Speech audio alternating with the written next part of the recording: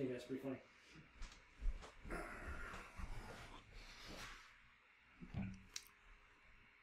Let's have some beer. What be going down, people of the world? Thank you so much for joining me for yet another Daily Drink vlog. My name is Red Beerd. His name is Marcel. up? And for the beer of the today, Marcel brought a really awesome looking growler of Doc Perdue's Boxing Bruin IPA by the Cowbell Brewing Company. Oh yes, these guys are located in was it Blyth or something? Blyth, Ontario. yeah. Ontario. Apparently the brewery is amazing. Marcel's Oh, been raving about it since he got here. Yeah. And apparently this IPA is really good. And this just makes this growler leagues above the other ones. Let's get into this. Yeah. That's that's that's one of the most satisfying things that you can do right there. All right, pour yours first. Oh yes, it's a nice looking IPA. Gotta say, hey hey, Yeah. It's beautiful. a nice pour. I'm actually quite impressed with myself. Yeah. Do it again. Do it twice. I believe in you. I believe in you. Random South Park reference. Oh, yeah, that's a shitty walk. I think I popped this off. Like it popped itself all the way up. There we go. I popped it too hard. Popped it real good. Oh, I'll go like that. Yeah. All right. Cool. We'll get into that. Oh my. See, it has that very. That has a really nice tropical, fruity, punchy aroma to it. Oh, let's give that a shot.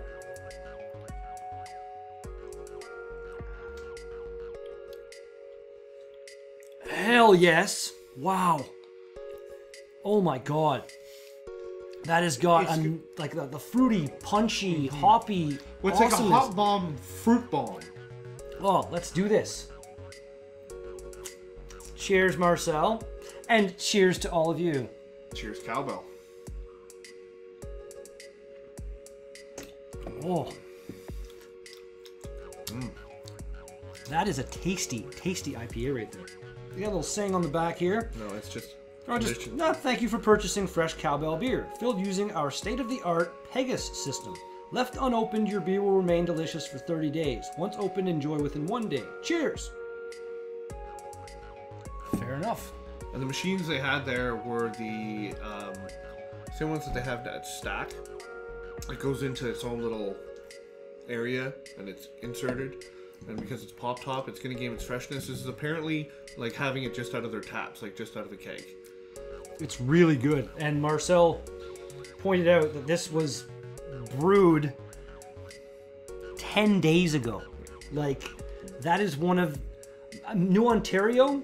I've had beer there right out of the bright tank. Yeah. So that's the freshest beer I've ever had. But this is probably the freshest IPA I've ever had, Well, these come if not one of. right out of the bright tank as well, essentially. Oh wait, no the uh, the vlog that was lost from Stack Brewing at the Elgin Street Beer Festival, where I tried their uh, their cask expansion sour IPA that was like what they had another- another flavor blood orange. That was probably the freshest IPA because they just tapped the cask, but this would be second.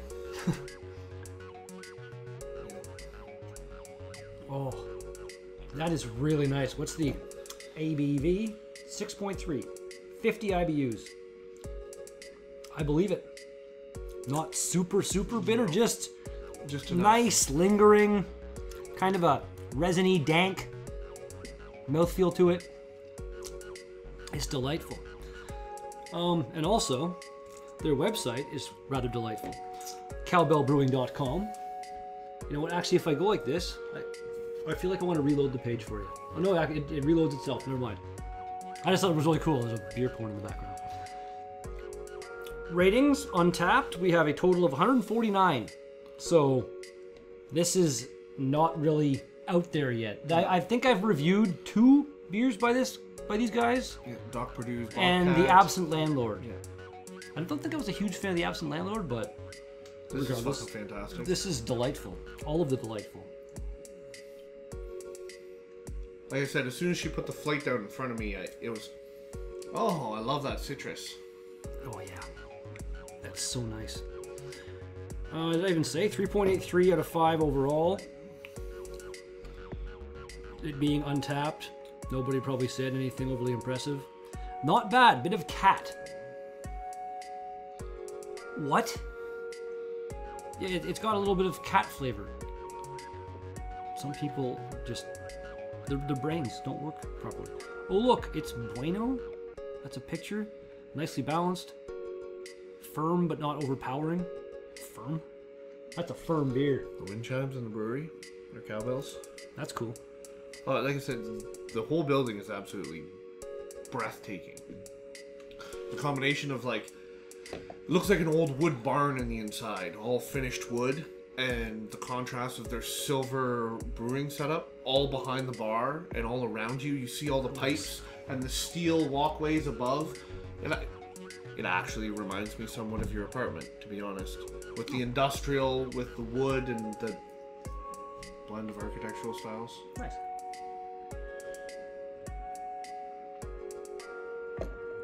Mm-hmm. Yeah. It was the only one I had a pint of after my flight. Oh yeah. Beer was not found on Rate Beer, although I'm just gonna try looking for Cowbell IPA instead of the Boxing Bruin. See what it comes up. You should read the write up. The write ups on the website. All we found here is Abbey Braggett IPA, which is not this beer. And Beer Advocate, one person rated it. There isn't even a review, and they only gave it 2.5 out of 5. But I can most definitely cowbellbrewing.com. And we'll find the beer on the website, and then we can read some fancy stuff about the beer itself. Yeah, that's a good time. Beer. Founders Series, Renegade Founders. Series. Founder Series. Kelly's Contraption is a New World Hefeweizen. Yeah, the country Kolsch. Yeah. I wasn't Yeah. a huge fan. Kolsch in general is a really kind of hit or miss style for me. Outrageously hoppy and classically bitter, Boxing Bruin is a true IPA. Five unique hops and a touch of Belgian candy syrup create a burst of vibrant tropical aromas and flavors of lime, mango, and lychee. I think that's lychee. The body is smooth with focused bitterness and a refreshing finish. That is weird. Belgian candy syrup. Mhm. I guess it would be a traditional ingredient in beers from like Bavaria. An IPA is an acceptable one from that area.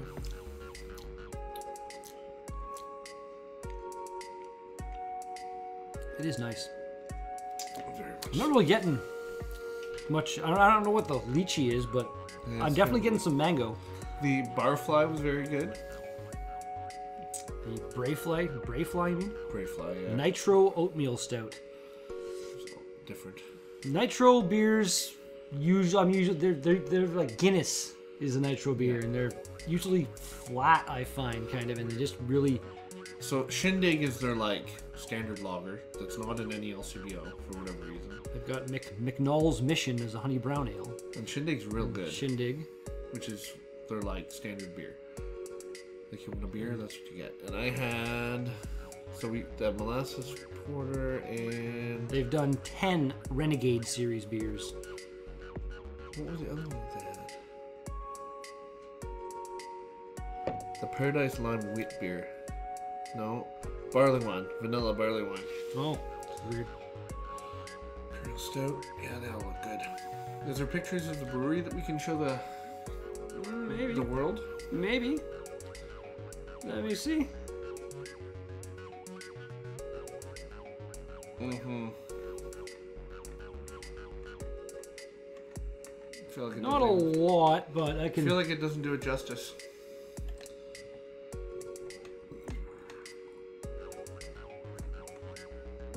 If you go to like learn more about the kitchen restaurant, pictures there. You can see the see the brewery. It's quite the impressive structure right there. Oh, it's in- that? yeah. Um, yeah, the kitchen doesn't show much at all. That's what it looks like. No, it's Henry's Hall. Interesting. Well, there's a bunch of different places. That's a hell of a building. Yeah. Well, they did similar to like uh, Highlander. Highlander.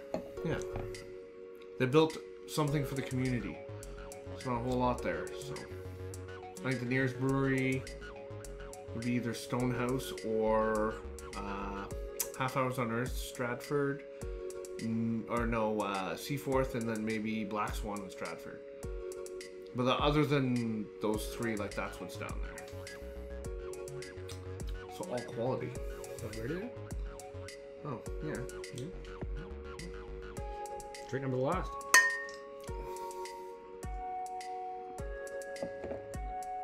Mm. Cowbell Brewing. Your the hell was it? Doc Box- Perdue's Boxing Boxing, Brewing. Brewing. Boxing Brewing. So I guess that would be a reminds me of like uh, Cecil's restaurant here in North Bay. Cecil was apparently he's like a legendary figure, and he used to fight bears. Boxing Brewing. It's a bear. Rating on that. That's a ten. It really is. It's delicious. I, I, I, I'm, I'm, I'm, I, that's a great IPA. It really is. Really good IPA. And dates there, and it's a growler, so there's not going to be ingredients on it. But I'm sure if Marcel had asked for an ingredients list, they would have given him an ingredients and list. I'm sure you can get them right on the website. Yeah. So yes, you're ready. Um, yeah. IPAs aren't my favorite brew type like they are yours. They're great beer. It's a good beer. It's like it's a nine as far as IPA goes. It's like a ten. There you go. Yeah. Good stuff. Thanks again for bringing this, man. Not a problem. Awesome. And that's going to do it for today's Daily Drink vlog. Thank you so much for watching this video. Thanks again for coming. If you liked the video, smash a like button. You want to see more of my videos? Smash the subscribe button. You got something to say to me or to him? Put some comments in the box down below. Thanks again, and I'll be back with another Daily Drink vlog tomorrow. A peace out!